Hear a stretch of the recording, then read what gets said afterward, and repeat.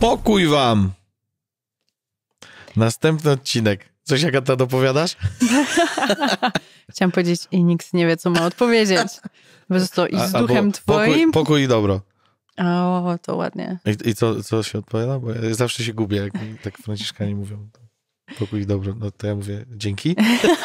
I wystarczy. I oni Amen. się cieszą. Daj Boże. Tak. Yy, Słuchajcie, no kolejny odcinek Życia naśladowcy razem z doktor Agatą Ruiner. Tutaj jestem, prawie morały. Yy, I, I dzisiaj będziemy to rozkminiać. Co rozkminiać? Życie naśladowcy. I częścią tego mm, jest sumienie. Tak? Sumienie. I teraz, wiesz, często jest ten zarzut, szczególnie gdzieś tam ze strony niewierzących, że Kościół nam mówi, co my mamy robić. Że nakazy, zakazy, E, też no czasami jak widzę na przykład, że e, jakby eksponowanym jakby nie wiem, e- eksponowanym pomnikiem, czy obrazem, czy czymś są jakieś e, tablice dekalogu, nie? No to to faktycznie może ugruntowywać w nas takie przeświadczenie, że chrześcijaństwo to faktycznie tylko rozkazy, zakazy i nakazy i nic więcej tam nie ma. Tymczasem wiemy, że no, nowy, nowy przymierze zasadza się trochę inaczej, w sensie i tak, i nie. To będziemy jeszcze rozkminiali niedługo. No ale faktycznie jest pewna obiektywna prawda. Mhm. I Kościół mówi, że, że ją zna. No i teraz jak on nam pomaga ją odnaleźć w naszym życiu, w naszym sumieniu? Jak to jest? W ogóle co to jest sumienie? Może zacznijmy od tego. Dobra, to ja zapamiętuję te pytania i jeszcze zacznę sobie inaczej, jeśli mogę. No mam nadzieję, że zapamiętasz. No. Ja bym nie zapamiętał. Nie, nie no pytanie, nie, co to jest sumienie? Tak. Myślę, że zapamiętam to pytanie. E, Bo ja bym zaczęła jeszcze, jeszcze, jeszcze inaczej. Mhm. Czyli jestem człowiekiem No. i chcę coś robić w życiu. Mhm. generalnie moje życie bardzo mocno opiera się na tym, że coś robię. Podejmuję decyzje, podejmuję działanie, czyli robię to, co w teologii moralnej nazywamy czynem ludzkim. To Mhm. jest czyn świadomy i wolny. I teraz ja mam robić dobro. Czy jestem wierząca, czy jestem niewierząca? I to wielu filozofów też odkrywało niekoniecznie z Panem. Bogiem. Tak, Mhm. że dobre jest to, co jest prawdziwe, dobre jest to, co jest piękne i że my jesteśmy zaproszeni do tego, żeby to robić, bo to Mhm. przynosi też szczęście. To przynosi jakiś ład, to przynosi porządek i tak dalej, i tak dalej. I ja jako człowiek mam właśnie sumienie. Bardzo filozoficznie i teologicznie można powiedzieć, że sumienie to jest sąd rozumu, Mhm. Ale pójdźmy tą definicją Soboru Watykańskiego II, bo to jest jedna z najładniejszych definicji, która mówi o tym, że sumienie to jest najtajniejszy ośrodek w człowieku, sanktuarium. I teraz, kiedy ktoś nas słucha, to może sobie pomyśleć, ja, co to jest za Matko. definicja? To już chyba wolę ten sąd rozumu, chociaż to też brzmi dziwnie. Mhm. Sanktuarium. Z czym nam się kojarzy sanktuarium? Nie wiem, możemy sobie pomyśleć teraz o Watykanie, Mhm. o Jasnej Mi Górze. się kojarzy z czymś dużym i szerokim. Duże i szerokie. No dobra. Mnie Czy zazwyczaj z sumienie czymś moje ma bardzo... być jako duże i szerokie? Do tego zaraz dojdziemy. Ale mnie się na przykład kojarzy z czymś, co jest bardzo piękne, Mhm. co jest bardzo zadbane, co jest bogate, Ukryte jakoś tak. co jest y, też pełne jakiejś świętości, Mhm. pełne sakrum. I każdy z nas, każdy, czy jest wierzący, czy jest niewierzący, z samego faktu, że jest człowiekiem, ma sumienie. Ma ten najtajniejszy ośrodek. Pytanie, czy my o ten ośrodek dbamy, czy my tam zaglądamy, czy jest zakurzony, czy chcemy się tam spotykać z Bogiem, bo Sobór mówi nam dalej, że wewnątrz tego sanktuarium człowiek odkrywa prawo, którego sam nie wymyślił. Odkrywam to prawo, dlatego że wewnątrz tego sanktuarium rozbrzmiewa głos Boga. Głos, który mnie zaprasza do miłości, głos, który zaprasza mnie do posłuszeństwa temu prawu i który mi mówi, podpowiada, co jest dobre, a co jest złe. I sumienie ma takie trzy bardzo ważne funkcje. Pamiętasz z wykładów, czy nie? No nie wiem, no powiedz mi. Dobra, nie będę ci tutaj sprawdzać. Jest świadkiem, sędzią i stróżem. Tak. To są takie trzy bardzo piękne funkcje, bo sumienie jest świadkiem moich czynów, bo Mhm, zawsze widzi, tak, co tak. ja robię. E, Jest sędzią, bo mi albo da pokój, albo da mi wyrzuty sumienia, albo da mi zadowolenie, albo jakiś żal. E, I jest stróżem, bo będzie mi mówiło, nie rób tego. Mm. Nie ma sensu tego robić. To, to nie jest dobra droga. Nie, nie idź nią. Wy, albo wybierz inne środki do osiągnięcia tego celu. E, I człowiek jest zaproszony do tego, żeby w tym sumieniu spotykać się z Bogiem. To jest w ogóle piękne. Ja myślę, że na dzisiejsze czasy to powinno być hasłem reklamowym we wszystkich e, możliwych źródłach, że masz w sobie coś, gdzie nikt nie ma wstępu, gdzie jesteś ty i Bóg, i tam możesz odkryć, gdzie jest szczęście, gdzie mm. jest radość, gdzie jest dobro. Bo po co my mamy sumienie, po co jest teologia moralna i dlaczego Kościół nam mówi, co my mamy robić, chociaż to też tak nie do końca nam to no. mówi. E, dlatego, że chcemy zabezpieczyć to dobro. Jeżeli ty mówisz, że trochę się irytujesz, jeżeli widzisz te tablice kamienne i że tak się przedstawia chrześcijaństwo, to to jest tylko kwestia tego, że mamy złe skojarzenia. Mhm. Gdybyśmy pomyśleli o tym, że każde z przykazań zabezpiecza dobro, chroni no dobro obietnicą. i jest obietnicą, mhm. to byśmy inaczej na to patrzyli. Tak. Nie, że ja nie mogę, bo jak to zrobię, to Pan Bóg powołał, grozi mi paluszkiem, powiedz, co ty narobiła. Tylko ja tracę dobro, jeżeli się nie, nie chcę podporządkować temu, że Bóg mi powiedział, gdzie jest życie, gdzie jest błogosławieństwo, a gdzie jest śmierć i przekleństwo. E, I to nasze sumienie potrzebuje być formowane, dlatego że to jest subiektywna norma moralności. I ona musi się odnosić do czegoś, co jest obiektywne. Mhm. To skoro każdy z nas ma sumienie, no to każdy z nas ma trochę inne, trochę inaczej się tam z Bogiem spotyka, trochę inaczej był też wychowywany, więc ono jest subiektywne, ale odwołuje się do czegoś, co jest obiektywne. I musi się odwoływać, bo inaczej byśmy wpadli w e, relatywizm, w tak. etykę sytuacyjną, e, w mówienie, że dobre jest to, co w ogóle nie jest dobre i w błędy. No też są różne nurty, nie? Na przykład dobre jest to, co jest dla mnie dobre. Tak, i to, co jest przyjemne. Co jest przyjemne, tak, co mi daje korzyść. Co jest użyteczne, no. dokładnie. No. Dobre jest to, co jest legalne. Dzisiaj mm. tak bardzo często chcemy się e, ukryć za prawem stanowionym, że tak. skoro coś jest prawnie dozwolone, to znaczy, że jest moralnie dobre.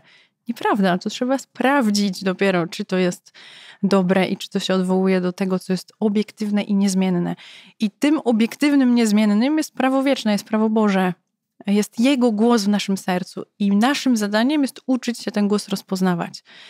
Pismo Święte, mm, mówiąc o sumieniu, mówi często w Starym Testamencie zwłaszcza o sercu i o nerkach. Mhm. Że Bóg jest tym, który zna nasze serce, doświadcza nas, e, czyta to, co w nas jest i pokazuje nam też, że to jest to miejsce spotkania. W Nowym Testamencie Jezus mocno pokazuje, że e, to z serca, no czyli właśnie z wnętrza z sumienia, bierze się to, co jest dobre lub złe. Nie z zewnątrz, mhm. tylko ze środka. Nas zanieczyszcza to, co jest w nas, nie? Jeżeli Dokładnie. jest brudne. E, dlatego ja zachęcam dzisiaj i siebie, i ciebie, i wszystkich, którzy nas słuchają, żebyśmy się zastanowili, kiedy tam ostatnio byliśmy. W tym sanktuarium. Mm. Jeśli trudno nam myśleć o sanktuarium, to nie wiem, wyobraźmy sobie, że sumienie jest y, najpiękniejszym samochodem. Jeżeli to komuś pomoże, to nie będzie herezja. Mm. To, to nie chodzi o słowo, jakim określimy to sumienie, tylko o to, żeby tam iść. Ja czasami pytam studentów, e, czy robią codzienny rachunek sumienia. I najpierw im mówię, że nie muszą podnosić ręki, jak nie chcą, ale po twarzach i tak widzę, czy mhm. robią, czy nie robią. A to jest pierwsze takie miejsce, gdzie ja mogę w ogóle sprawdzić, co się we mnie działo przez cały dzień. Ale wiesz, jak nam się kojarzy rachunek sumienia? Jako no, samobiczowanie. No to źle się kojarzy. No w ogóle Kościół mówi inaczej. No właśnie, Kościół I... mówi inaczej. No wiadomo, tylko to się kojarzy. I ta moja irytacja w kontekście tego dekalogu, ona nie wynika z tego, że ja się na to wkurzam, mm -hmm. bo ja mhm. mam świadomość, że prawo Nowego Przymierza jest wyższe i bardziej wymagające niż dekalog. Nie? Ale e, jeżeli my tylko przedstawiamy to jako główne przesłanie chrześcijaństwa, to utwierdzamy w tym przekonaniu, błędnym przekonaniu świat, że chrześcijaństwo jest religią, samozbawia, religią samozbawiających się ludzi, którzy tylko z powodu tego, że będą dobrzy, tylko z tego powodu będą zbawieni, a to nie jest prawda. No, oczywiście. Więc ja rozumiem i tę irytację, i to, że mm, potem sobie myślimy, że rachunek sumienia to jest jakaś przykra konieczność mm. wyznania wieczorem przed snem tego, że nic mi w życiu nie wyszło znowu. To jest bzdura. W sensie to jest jakiś nasz problem, że myśmy przez lata tak uczyli pewnie, mm. skoro dzisiaj wielu ludzi tak myśli i tak sobie to kojarzy, ale to jest nieprawdziwe. To nie jest zgodne z tym, co mówi Kościół. To podsumowanie wieczorne jest przede wszystkim momentem wdzięczności. Mm. Jest przede wszystkim e, zobaczeniem, gdzie Bóg był ze mną dzisiaj, gdzie mi pozwolił czynić dobro. I zobaczeniem też, że okej, okay, były momenty, gdzie mi to nie wyszło, gdzie byłem głuchy, byłem ślepy, zaniedbałem albo zrobiłem coś złego. I to jest ten moment, gdzie mogę też przeprosić, prosić Boga o to, żeby mi dawał łaskę na następny dzień i idę dalej.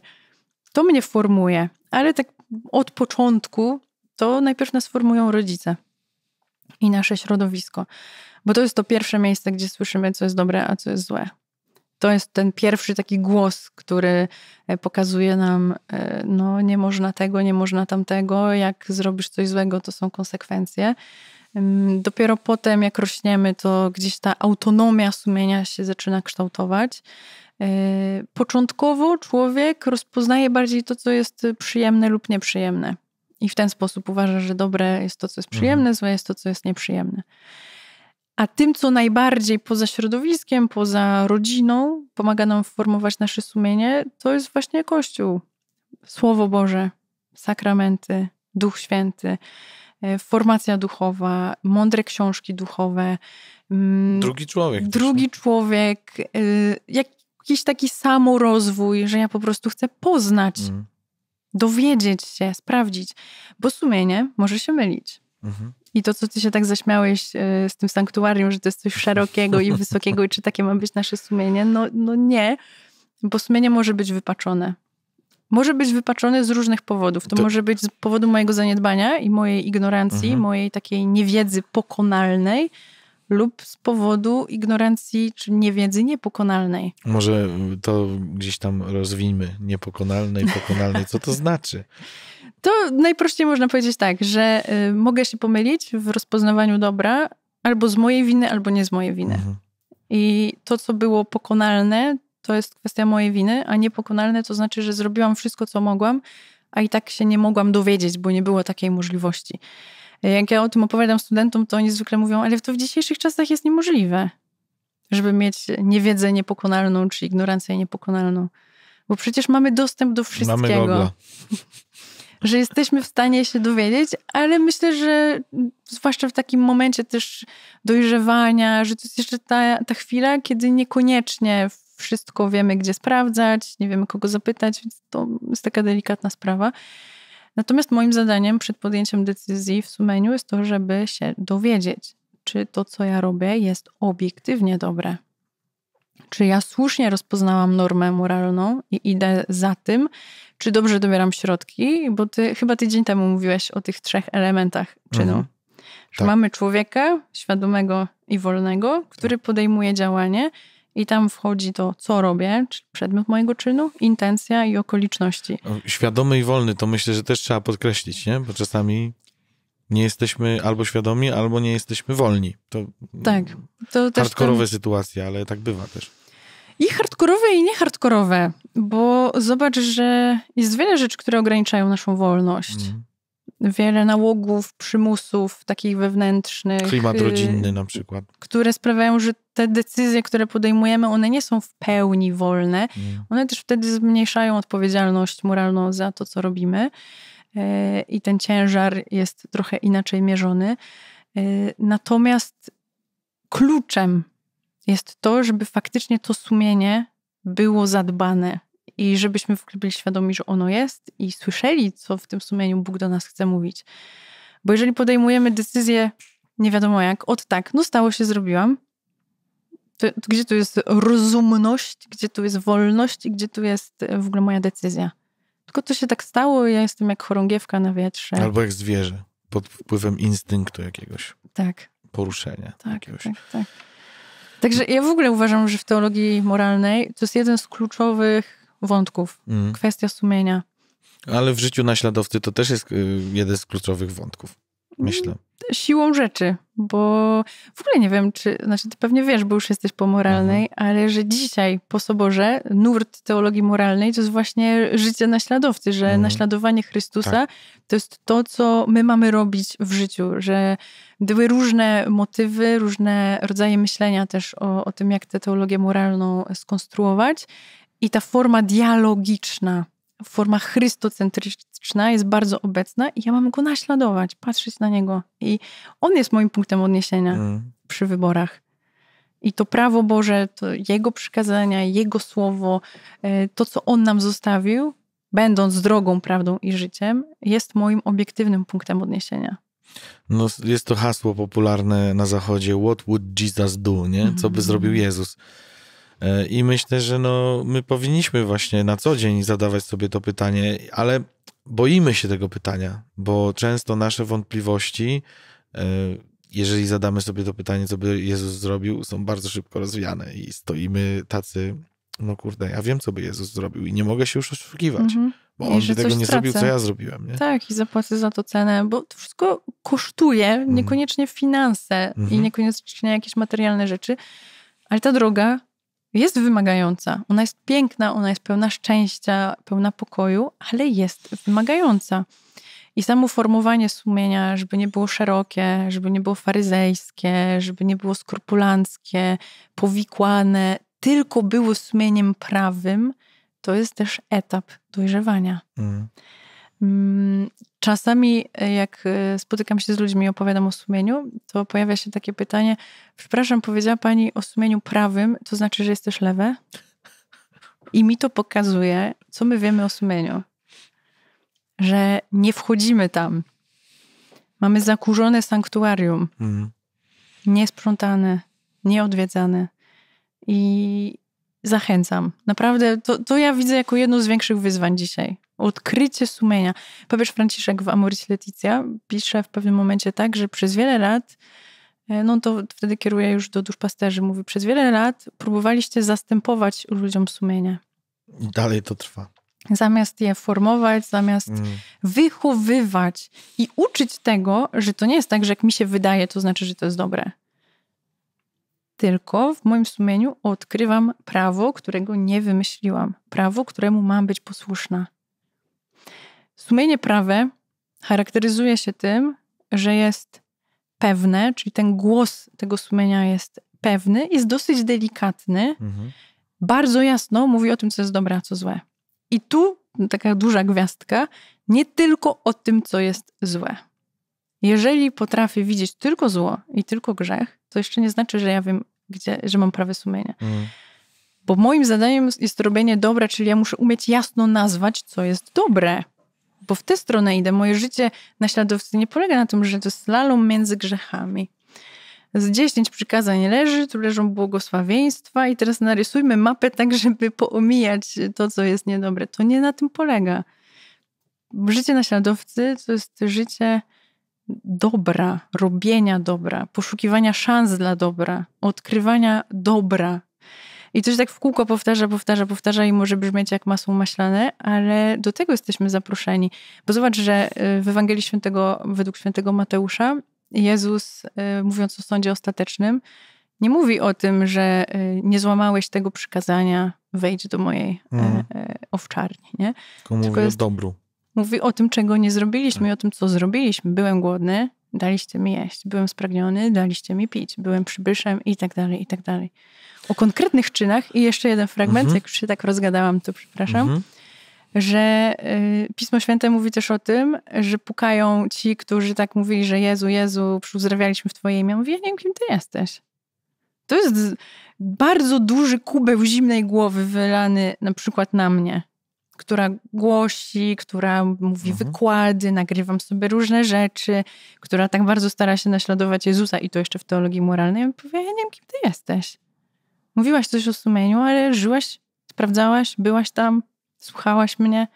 Czy żyjesz swoją wizją, tym, co tobie się wydaje? No ale zobacz, ten e, standardowy argument e, broniący różnych kaznodziejów, którzy niekoniecznie mogą być posłuszni Kościołowi i tak dalej, to właśnie brzmi tak. Przecież Bóg przez niego działa. Przecież on e, dokonuje takich rzeczy, mówi takie piękne kazania.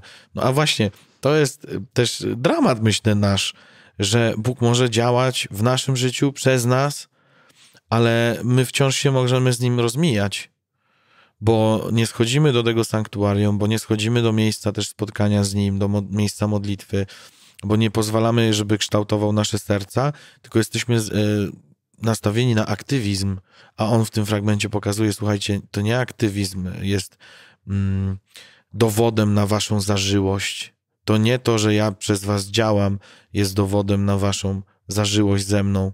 Ta zażyłość, to, to słowo mi bardzo mm, przypomina ten, tą chwilę, kiedy Bóg powołuje Abrahama i mówi mu w jednym z y, tłumaczeń jest żyj ze mną w zażyłości i bądź doskonały. I dla mnie to jest naturalne, że to jest konsekwencja. Nie? Że zażyłość z Jezusem, tak. ona w konsekwencji sprawia, że my stajemy się doskonali. Czyli y, tutaj pytanie, jak kształtować sumienie, nie? Dla mnie odpowiedzią na to pytanie jest szukać Jezusa. Kształtować to sumienie z Nim i w Nim i być po prostu z Nim, nie? Szukać Go w modlitwie. I ja później widzę, jeśli chodzi o moje sumienie, no są różne y, sfery, nie? Ja na przykład, jeśli chodzi o, nie wiem, jakie jest y, zło lub dobro moralne wynikające z braku sprzątania.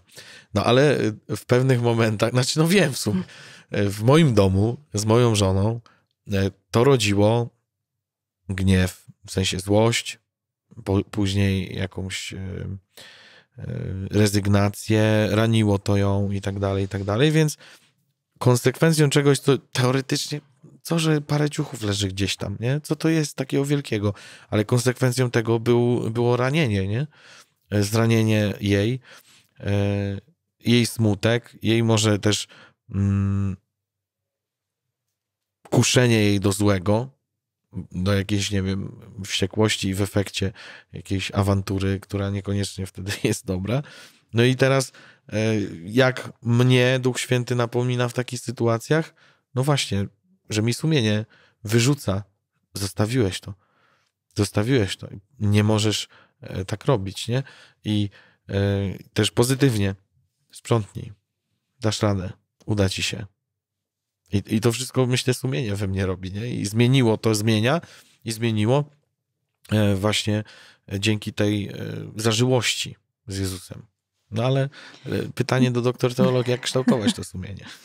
E, to, co ty mówisz, jest bardzo dobre, natomiast my potrzebujemy też e, obiektywnych wątków mhm. w kształtowaniu sumienia, bo samo moje bycie z Jezusem też może być nastawione na subiektywizm, na jakieś mhm. odczucia, że jeśli będę miała przyjemne emocje, to znaczy, że to było dobre, a niekoniecznie tak mhm. jest. Mhm. Potrzebujemy lustra, potrzebujemy y, jakiegoś wskaźnika i Kościół jest tutaj bardzo dobrym wskaźnikiem i nauczanie tego Kościoła.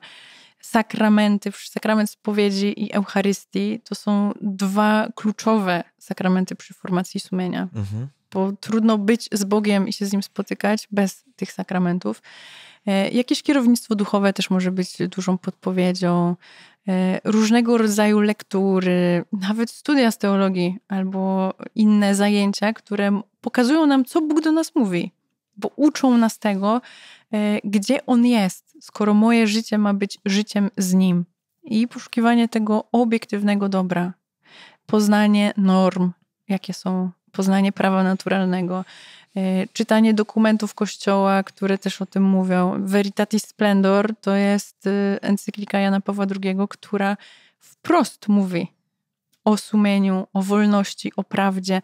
Trudno jest też mówić o sumieniu bez spojrzenia na wolność i na prawdę. To wtedy jest znowu relatywizowanie wszystkiego i wchodzimy w jakieś błędy. Przy sumieniu skrupulanckim, y, no wręcz konieczne jest to, żeby mieć stałego spowiednika bo to jest bardzo duży dramat osoby, która przeżywa e, taki rodzaj sumienia i, i bycie samemu w tym może być jeszcze bardziej krzywdzące. Mm, z kolei jest też taka zasada moralna, żeby w sumieniu wątpliwym nie podejmować żadnej decyzji, nie mhm. podejmować działania.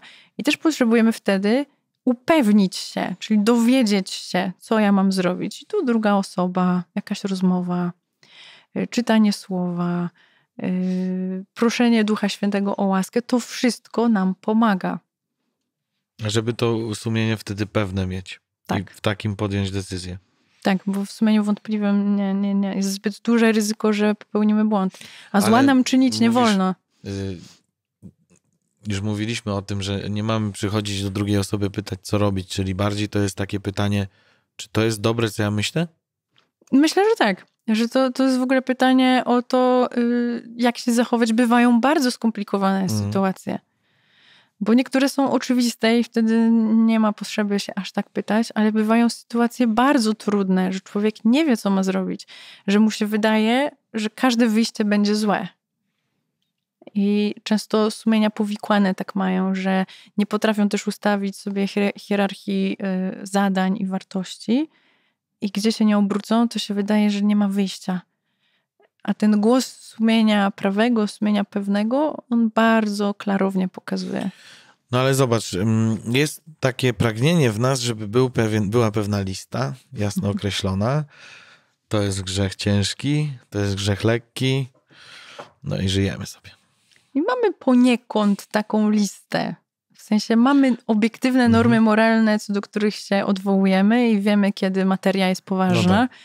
E, I biorąc pod uwagę, że mamy poważną materię, wolność i świadomość, to efekt jest jedyny, no, mhm. grzech śmiertelny. Mhm. Mm, natomiast życie naśladowcy nie polega na tym. Nie polega na rozliczaniu się. Tak. I teraz, żeby było jasne, to nie znaczy, że ja nie widzę grzechu. Mhm. Albo udaję, że go nie ma. Albo że sobie wyjaśnię zawsze, że jednak nie byłam aż tak świadoma, albo nie byłam aż tak wolna, albo nie wiem, coś sprawiło, że ta sytuacja jest jednak inna niż wszystkie inne sytuacje na świecie.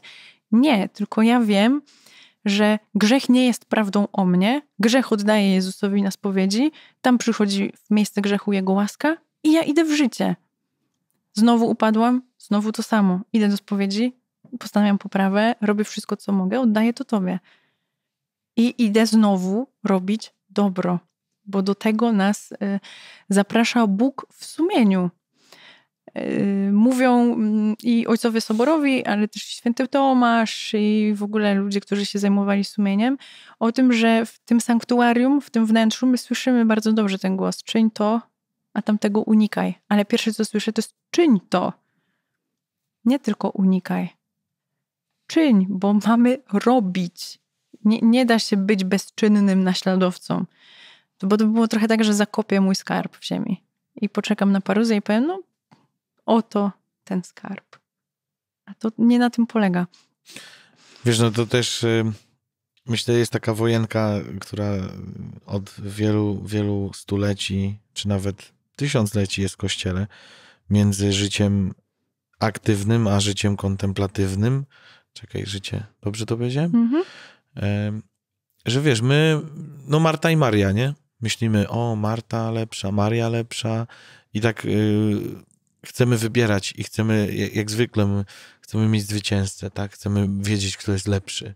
Tymczasem lepszy, myślę, że jest ten, kto łączy te dwie rzeczy, nie?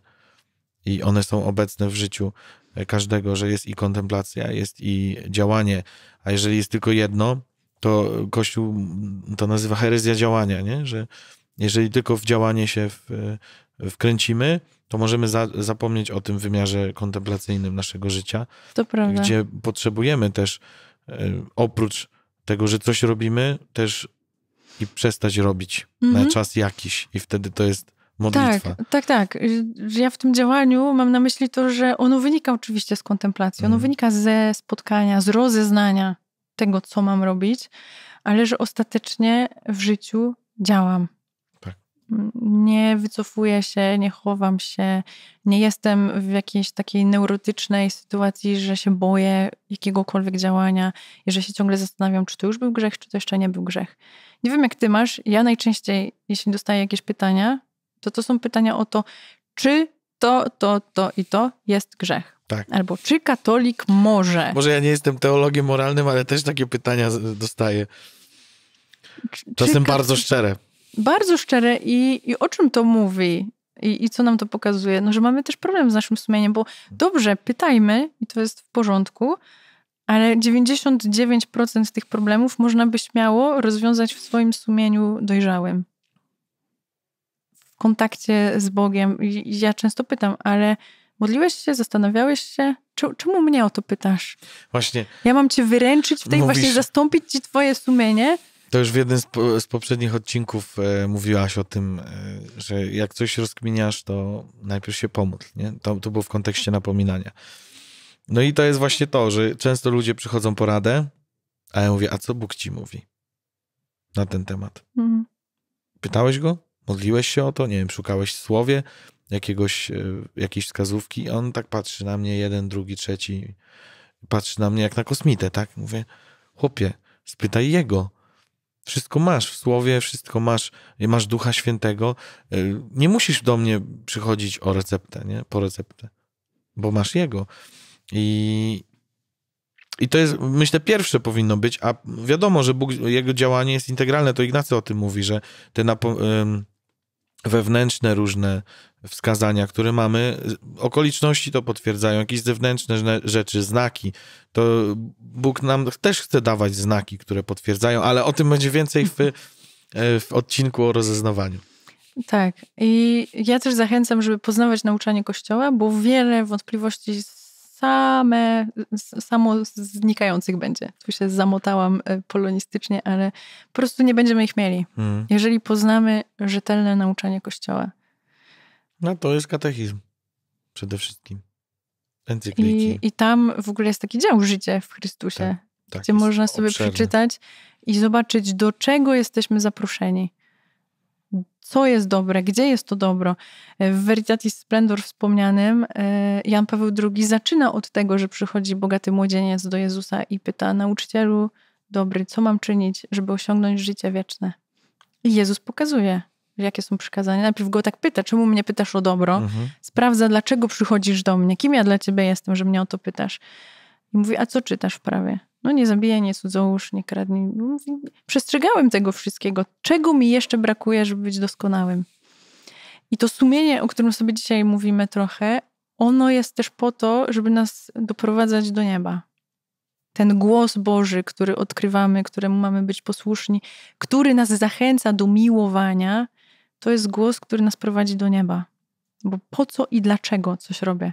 Też dzisiaj, Dwa najważniejsze pytania. tak, których często nie, Nie zadajemy sobie. nie zadajemy i nie rozumiemy, czym one się różnią. Że dlaczego to jest pytanie o moją motywację, Tak. a po co jest pytaniem o cel? cel? No. I każde moje działanie, które dostaje przyzwolenie w moim sumieniu, ono ma mnie prowadzić do dobra, do nieba. Czy to, co ja robię, zgadza się z moją drogą świętości? Czy się z nią nie zgadza? No to jest, to jest to właśnie. Po co i dlaczego. Tak zacząłem nad tym się zastanawiać, że zapomniałem wątku, który chciałem jeszcze poruszyć. No ale e, tak czasami bywa, może widocznie e, tak, tak teraz e, ma być. No ale wiesz, po co i dlaczego? To są dwa pytania, na, które ja sobie zacząłem zadawać bardzo często, codziennie. I em, myślę, że więcej w odcinku o ocenianiu i osądzaniu o tym powiemy, bo często my komentujemy rzeczywistość, komentujemy innych ludzi mm, i w ogóle po co to robimy, skoro my nie mamy wglądu do ich serc, nie? do ich sumienia, Mhm. e, do ich motywacji właśnie. Albo możemy spytać o tę motywację. To też jest piękne, nie? Pamiętam, jeden kolega do mnie kiedyś napisał, że on nie mógł znieść, że ja się tak chełpię Jezusem. Że ja tak ciągle o nim mówię, że wrzucam słowo Boże, że to, że tamto. Że jak tak, on tak patrzył na mnie i mówił sobie, to jest pycha, to jest to, to jest tamto, nie? I mówi, ale później miałem taki okres, kiedy byłem w terapii i też miałem kierownika duchowego i zobaczyłem, że to wszystko wynikało z zazdrości. Że ja Mhm. patrzyłem na ciebie zazdrosny, zazdrosny po prostu, bo to, co ty robiłeś, mnie bolało, bo ja nie byłem w stanie zrobić tego, co ty robisz. I dlatego cię oskarżałem, dlatego robiłem te wszystkie rzeczy. To może trochę e, poza tematem. Nie wiem, czy tak na to patrzysz, czy nie. Masz jakiś komentarz? Do tego może nie, bo myślę, że o tym powiemy jeszcze, Tak. ale mm, na przykład myślę o moim sumieniu i o tym, y, no bo spowiadam się z tego, co mi sumienie też pokazuje jako Mhm. grzech i proszę zawsze y, o Ducha Świętego, żeby mi pokazywał nowe rzeczy, których nie widzę, na które jestem jeszcze zamknięta.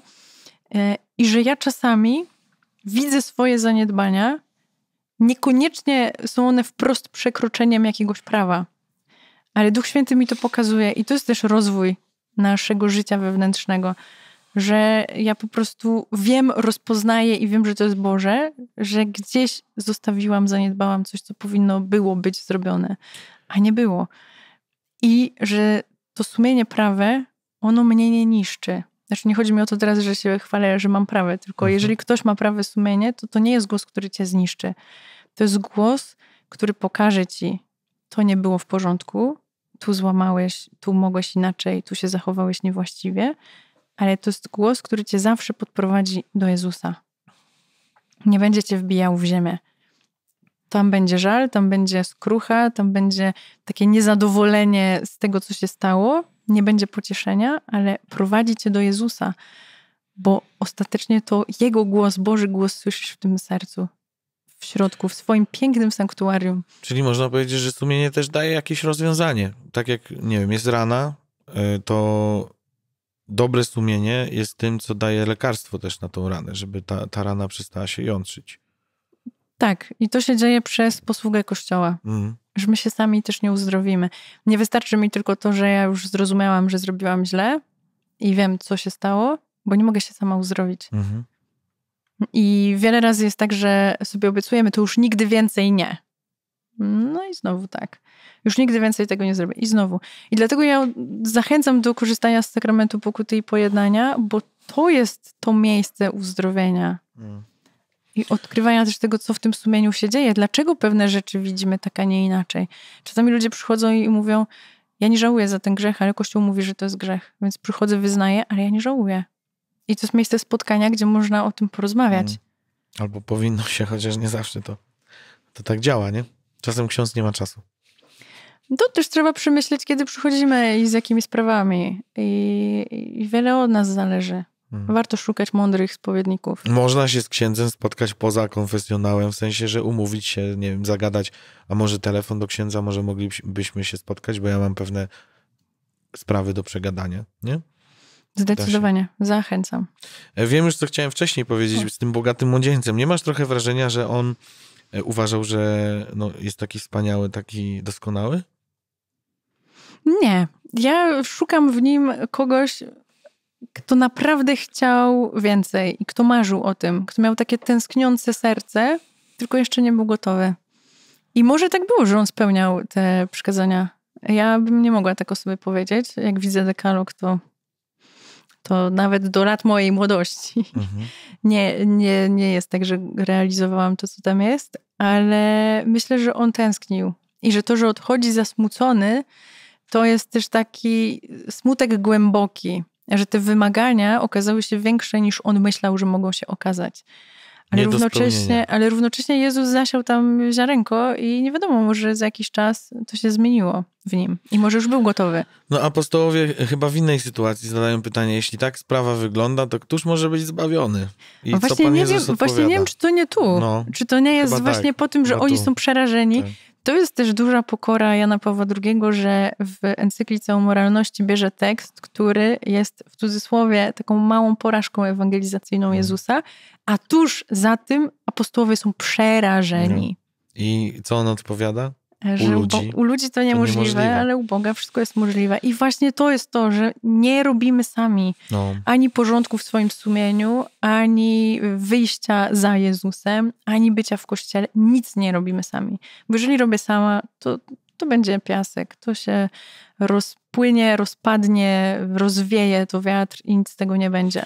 czyli e, reasumując, najlepsze narzędzia kształtowania sumienia są takie, jak najlepsze narzędzia kształtowania też e, życia w ogóle naśladowcy, czyli modlitwa, sakramenty, wspólnota, Biblia, nauczanie Kościoła, mądre książki i mądrzy ludzie. Dokładnie. No i amen. to więcej za tydzień. E, będzie ciekawy bardzo temat, dlatego że sztuka podejmowania wyborów przed nami, wybory dla naśladowcy Chrystusa są bardzo ważne. Więc dzięki Agata za dziś. Prawie morały.